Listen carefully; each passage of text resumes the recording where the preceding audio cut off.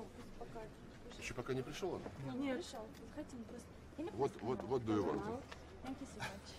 Дебилы. Дебил. Мы сейчас соберем.